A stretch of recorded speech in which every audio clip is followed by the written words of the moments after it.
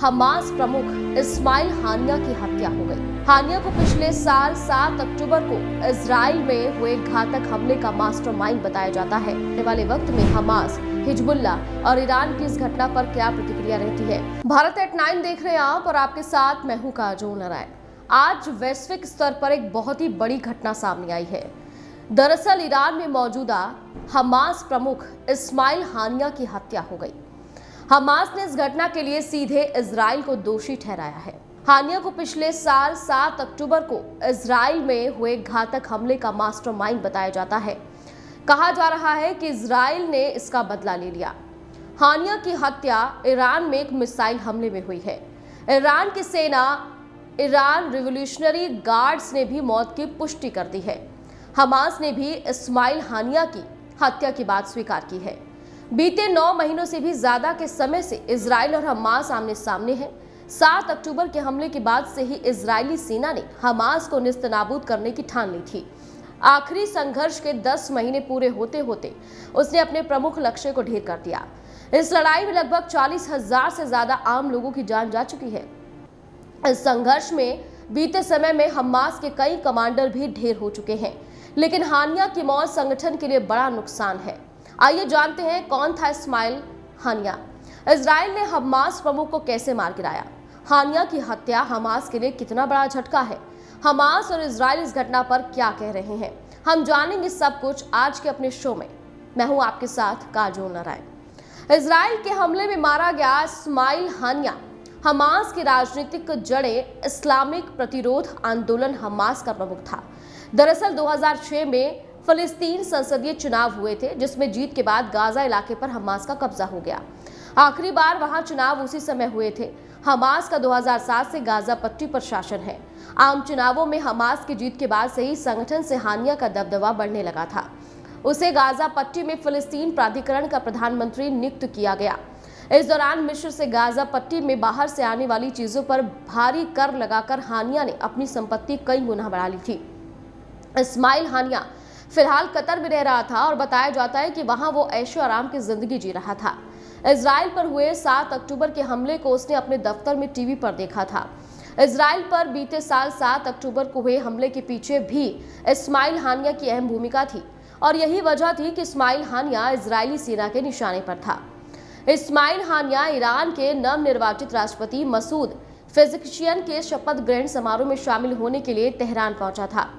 पेजिस्ट्रियन के शपथ समारोह में करीब 70 देशों के नेता पहुँचे थे।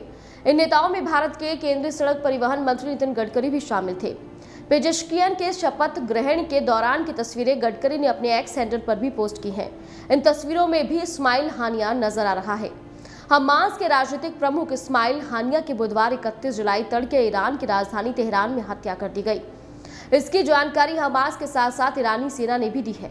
हमास के मुताबिक बासठ वर्षीय हानिया की तेहरान में उस समय हत्या कर दी गई, जब वो ईरानी राष्ट्रपति मसूद पिजिक्शियन के शपथ ग्रहण समारोह में शामिल होने के लिए गया था। तीस जुलाई को रात आठ बजे ईरान के सर्वोच्च नेता अली खेमनई ने ट्वीट कर जानकारी दी कि उन्होंने इस्माइल हानिया से मुलाकात की थी। इस मुलाकात के बाद इकतीस जुलाई को सुबह हमास प्रमुख हानिया के तेहरान स्थित उसके आवास पर हत्या कर दी गई। टेलीग्राम पर जारी एक बयान में कहा गया कि एक विश्वासघाती यहूदियों के चलते हानिया की मृत्यु हो गई। बयान के मुताबिक हानिया ईरान के राष्ट्रपति के शपथ ग्रहण समारोह में शामिल हुआ था। वो उत्तरी तेहरान में एक विशेष आवास में ठहरा हुआ था। वो एक मिसाइल हमले में मारा गया। हिजबुल्ला से जुड़े अखबार अल मायादीन ने एक अज्ञात ईरानी अधिकारी का हवाला देते हुए बताया कि हमास नेता की हत्या ईरान के भीतर से नहीं, बल्कि एक देश से दूसरे देश में दागी गई मिसाइल द्वारा हुई है।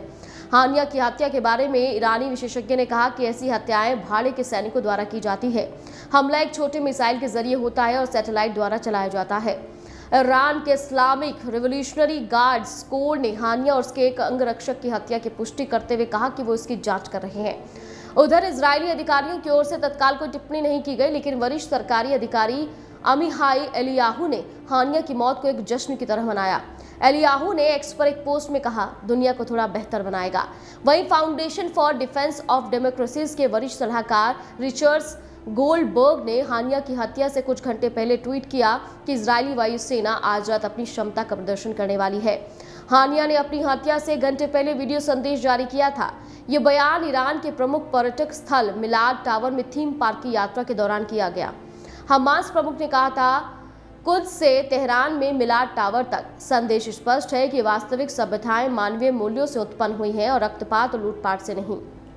इजरायली खुफिया एजेंसी मोसाद के प्रमुख ने 7 अक्टूबर के हमले के बाद हानिया को मारने की कसम खा ली थी। इस हमले के बाद से ही इसराइली हानिया की तलाश कर रहा था।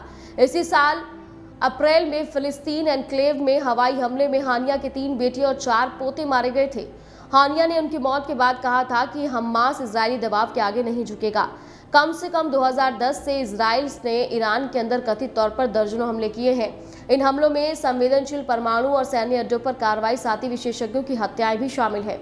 जुलाई 2020 की बात करें तो इजरायली हमलों की संख्या बढ़ गई जब मध्य ईरान में परमाणु स्तर पर एक बड़ा विस्फोट हुआ, जिससे एक इमारत नष्ट हो गई। उसी साल नवंबर में ईरान के परमाणु कार्यक्रम के एक प्रमुख अधिकारी मोहसेन फकरीजदाहे की तेहरान के पास सड़क किनारे हमले में हत्या कर दी गई।